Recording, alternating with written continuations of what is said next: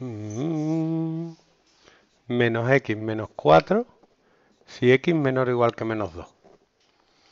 x cuadrado menos 1 si, atención, x es mayor que menos 2 y menor o igual que 1, pero no cuando x es 0. Y te dicen que para 0, cuando x es 0, la función vale 1. Vale 0. Si x está entre 1 y 3 y vale 1 partido x menos 3 menos 1 si x es mayor que 3. A mí no me vale con, con los límites. Yo tengo que dibujarla. Tengo que. Y yo para dibujarla me hago una tablita para cada parte. Y veo cómo va.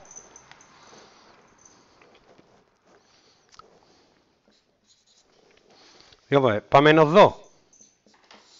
Pongo menos 2, menos 3, menos 4 menos 2, menos menos 2, menos 4 es menos 2, menos menos 3.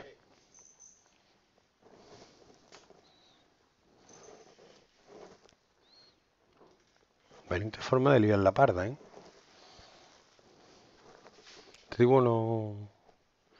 Menos 3, menos 1, menos 4, 0.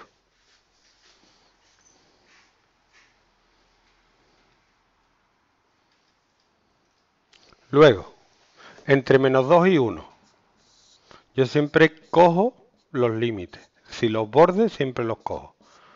Es fundamental. Menos 2 menos 1, 0 y 1. Para menos 2, por este lado, sería menos 2 al cuadrado, 4 menos 1, 3. Para menos 1, 0. Para 0, menos 1. Para 1, 0. Pero fíjate que para 0 mm, la he sustituido aquí, pero para 0 no está definida, así que no estaría definida en este punto. Estaría definida como 1, porque me lo dice ahí. Entre 1 y 3, la más fácil del mundo. Siempre vale 0. Y de 3 para adelante, sustituyo. Vamos a ver, para 3 tenemos un problema. ¿Por qué? Pues 3 menos 3 es 0 y no partido 0 es infinito. No puedo definirla para 3, pero para 4 sí. Para 4 me queda 4 menos 3 1, 1 entre 1, 1 menos 1 0. Para 5, 5 menos 3 2, 1 medio menos 1 es menos 1 medio. Para 6, 1 partido 3 es un tercio menos 1 menos 2 tercios. Voy un poquito más allá. Voy a sustituir el 100 y tú dirás, ¿para qué? Ahora te voy a decir, ¿para qué? 1 partido 97 menos 1 es menos 0,98. Y para 3, el 3 no me vale. Pero el 3,01 es súper útil, porque para 3,01 vale 99. Y yo ahora me hago el dibujo.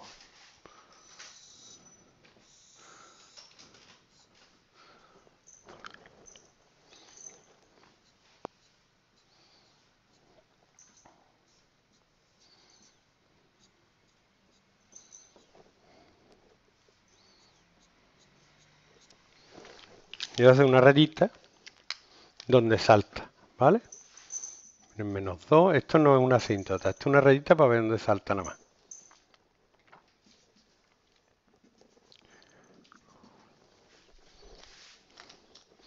Menos 2, menos 2. Menos 2, menos 2 es aquí. Ojo, cuidado. Aquí tiene el igual, ¿vale? Entonces me está diciendo que el menos 2, menos 2 está relleno. Porque está al igual y está definida por la parte esta de la función menos 3 menos 1, menos 4, 0. Esa es la primera parte. Luego la otra parte es menos 2, 3. Para menos 2 vale 3. Sí, la función está aquí, pero como aquí no está al igual, no está definida, está definida por esta, pero aquí dejo un hueco. Menos 1, 0. 0, menos 1 me daba, o sea que tendría que pasar por aquí, pero ahí me han dejado un hueco, porque me la han definido de otra manera. Y para el 1 me da 0. Para 1 me da 0 y como tengo el igual, tengo que poner punto relleno.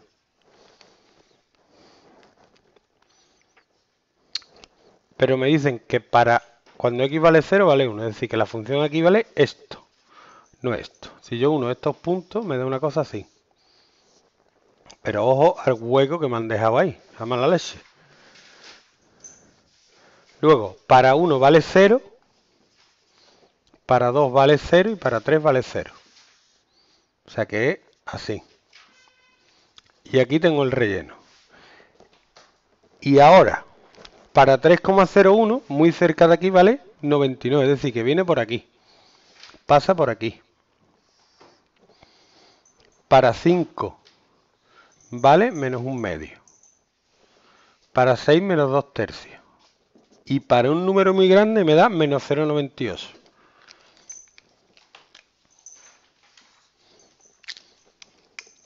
O sea, que hace una cosa así.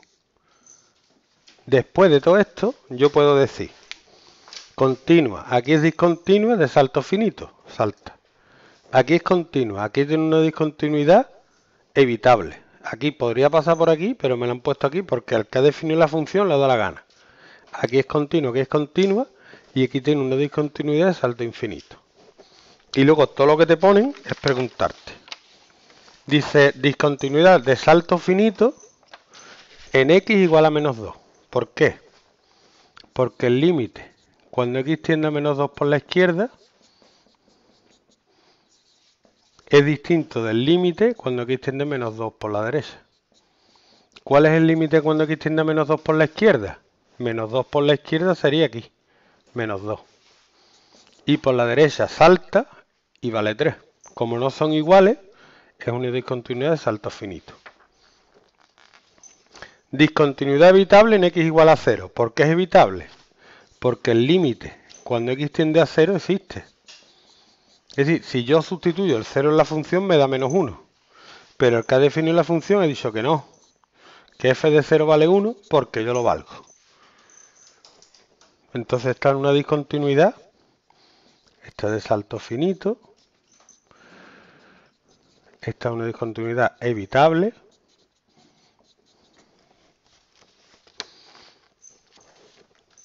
Luego en 3 dice que es de salto infinito. ¿Por qué? Porque el límite, uno de los límites, en este caso el de la derecha, si yo me acerco a 3 por la derecha, 3,01 me da un número muy grande, más infinito. ¿Por qué? Porque al sustituir 3 aquí me, me sale 0, me queda 1 partido 0 menos 1. 1 partido 0 es infinito. No existe. Y si el límite, uno de los límites es infinito, me da una discontinuidad de salto infinito.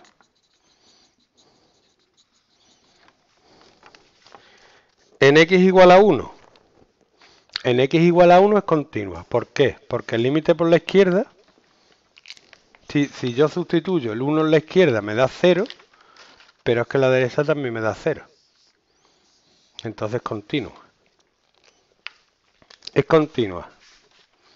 Porque el límite cuando x tiende a 1 por la izquierda de f de x es igual a 0. El límite cuando x tiende a 1 por la derecha también es igual a 0. Y además f de 1 está definida por esto y también da 0. Entonces en 1 es continuo.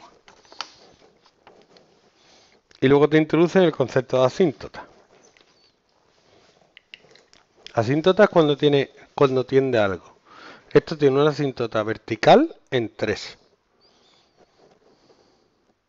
Las asíntotas verticales están relacionadas con los límites en el infinito. ¿Por qué tiene una asíntota vertical en 3? Porque el límite, cuando x tiende a 3 por la derecha de f de x, que sería sustituir el 3 en 1 partido x menos 3 menos 1, da infinito. Cuando da infinito un límite es que tiene una asíntota vertical. ¿Y cuando tiene una asíntota horizontal? Cuando tú haces un límite y te da infinito. El límite cuando x tiende más infinito de esto es menos 1. ¿Por qué? Porque si yo cojo aquí en la x y pongo un número muy grande, por ejemplo el 100 me da menos 0,98, se acerca a menos 1, pero es que si pusiera 1000, lo tienes que probar, me da menos 0,999 y si pongo menos 10.000 cada vez se acerca más a menos 1, pero sin tocarla. Esto es una introducción nada más.